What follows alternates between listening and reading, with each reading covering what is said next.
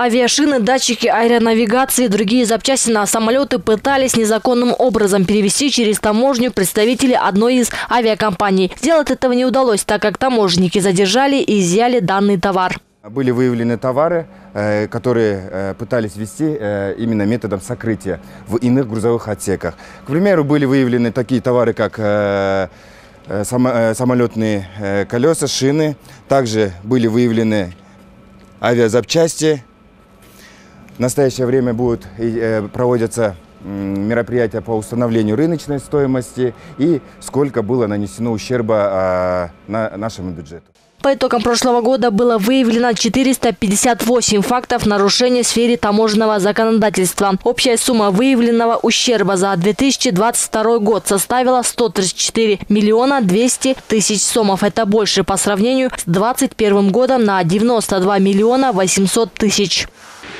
Все товары, которые поступают авиасообщением в нашу страну, поступают на данную таможню МАНАС. А максимальная пропускная способность данного терминала в день составляет 150-200 тонн. А с момента получения таможниками данного товара до полного оформления документов уходит около 20-30 минут. Он является единственным авиатерминалом в Кыргызстане. В целом за первый квартал 2023 года в рамках пресечения правонарушений и профилактических мероприятий на таможне Манас, где есть единственный по республике авиатерминал, было выявлено 145 фактов и взыскано в пользу государства 1 миллион 100 тысяч сомов. Таможня Манас по итогам 2022 года собрала в республиканский бюджет Крымской республики 4 миллиарда 641 миллион сом. А, вместе с тем, за первый квартал 2022 года собрано на сегодняшний день 1 миллиард 282 миллиона сомов, что в сравнении с первым кварталом 2022 года составляет 147% а, больше, чем в прошлом году.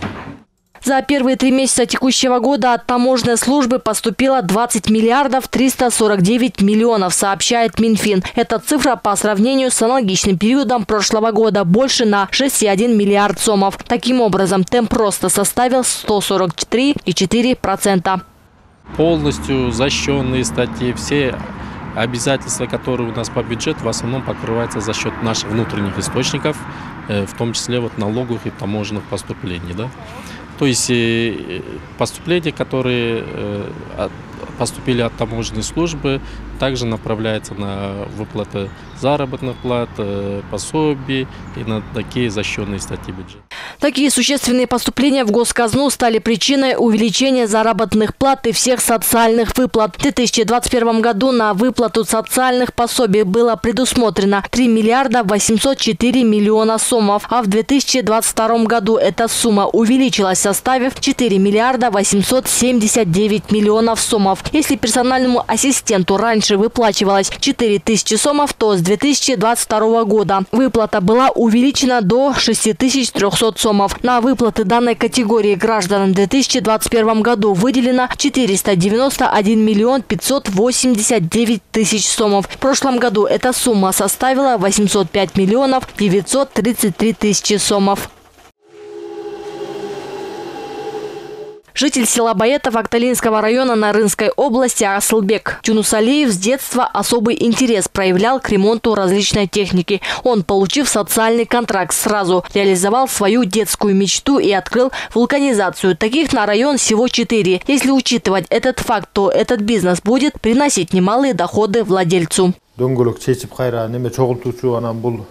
На финансы, выделенные от государства по программе социального контракта, мы закупили данное оборудование. Компрессор, балансировка, одним словом, все необходимое оборудование для бесперебойной работы вулканизации. Мы уже получаем небольшой доход. Надеюсь, она с каждым днем будет расти.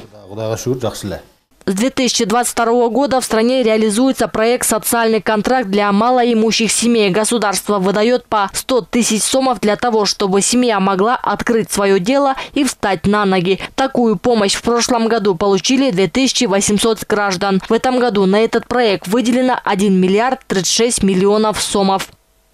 Чебек Исакова, Бекзат Машрапов, Фельтер, Бишкек.